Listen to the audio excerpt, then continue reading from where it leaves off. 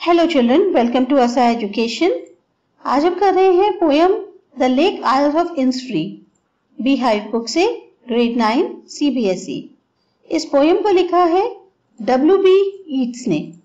ये जो पोयम है, ये 1893 में लिखी गई थी। इंसफ्री जो है, एक छोटा सा आइलैंड है लेक लॉक गिल पे, जो कि काउंटी स्लीगो में है। ये आयरलैंड का जो कोस्ट है, वहाँ एक छोटी सी जगह है। डब्ल्यू बी ईस्ट का ज़्यादातर जो बचपन था या बचपन में जो छुट्टियाँ वगैरह थी, वो काउंटी स्लीगो में ही बीती। और इस वजह से उनको ये जो प्लेस थी, ये बहुत ज़्यादा पसंद थी। कहते हैं कि ये जो पोएम है, अब जो एडल्ट ईट्स थे, यानी जब ईट्स बड़े हो गए, तब वो जाना चाहते थे उसी अपनी बचपन की जगह पे, जहाँ उनको बहुत ज़्यादा शांति मिलती थी। और तब उन्होंने जो है इस पोएम को लिखा है। तो जो सेटिंग है पोएम की, वो जो लेक आइल ऑफ़ इंस्ट्री है, उसके शोर्स पे है। ये एक छोटा सा आइलैंड आइलैंड है आयरलैंड के अंदर। इसमें पहले के जो दोनों स्टेंजाज हैं, उसमें सेटिंग के बारे में ही बताया गया है, पर जो थर्ड स्टेंजा है, उसमें जो सेटिंग है, वो चेंज होकर सिटी में आ जाती है, जहाँ पर रोडवेज़ और पेमेंट्स वगैरह होते हैं।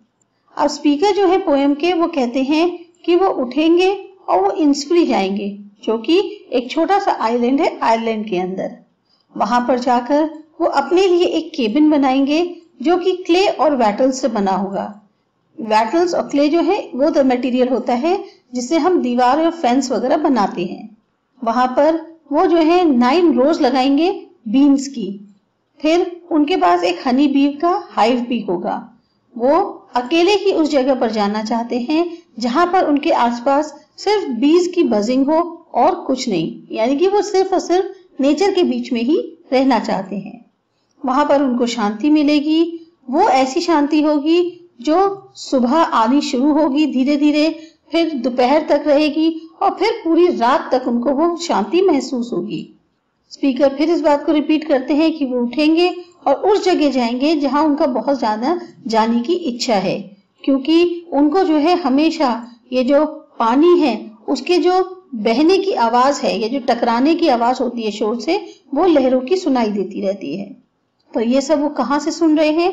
इस वक्त जहाँ वो खड़े हैं, यानी कि उनके मन में एक बहुत दबी हुई इच्छा है कि वो जो है, उस जगह जाना चाहते हैं जहाँ उनको शांति मिले।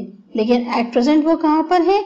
वो एक भीड़ भाड़ वाले शहर में है और एक पेवमेंट के ऊपर खड़े हुए हैं। और जो कुछ भी उनके मन में आ रहा है, जो कुछ भी वो सुन रहे हैं, वो सब उनके दिल से निकल रहा है। जो पोयम है, उसमें मेनली जो बताया गया है, वो ये है कि स्पीकर की इच्छा है कि वो इंस्ट्री जाना चाहते हैं। उन्होंने अपने सारे प्लान्स बना चुके हैं इंस्ट्री जाने के लिए। अब बस उनको सिर्फ़ एग्जीक्यूट करना बाकी है।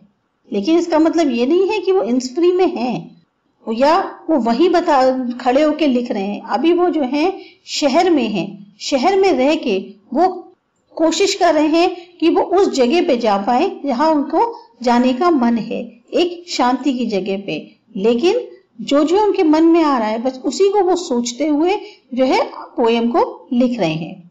पहली लाइन से लेके सेकेंड स्टेंजा तक, जो भी उन्होंने रीजन दिया है, यहाँ से जाने का वो सिर्फ़ और सिर्फ़ है कि वो शांति की तलाश में है।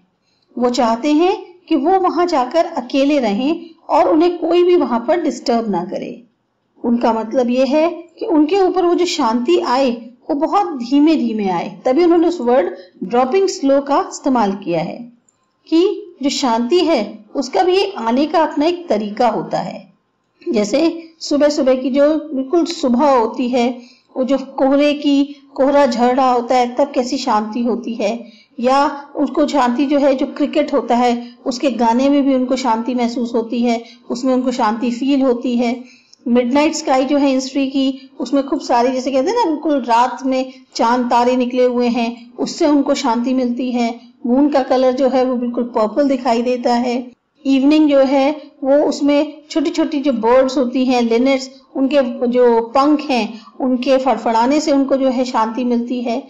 ये सारी चीज़ें जो हैं एक ऐसी जगह का वर्णन कर रही हैं नेचर के, जहाँ पर आपको सिर्फ़ और सिर्फ़ नेचर ही होगा आपके पास। आसपास कहीं कोई आपके भीड़भाड़ नहीं होगी, कहीं हसल बसल नहीं होगा, सिर्फ़ और सिर्फ़ आप नेचर के बीच में होंगे। और ये वाली, क्योंकि जब आप नेचर के बीच में होंगे, बहुत सारी चीज़ें आपके आसपास सब नेचुरल होंगी तो आप ऐसे ही इस एनवायरनमेंट में बहुत ज़्यादा शांति महसूस करेंगे।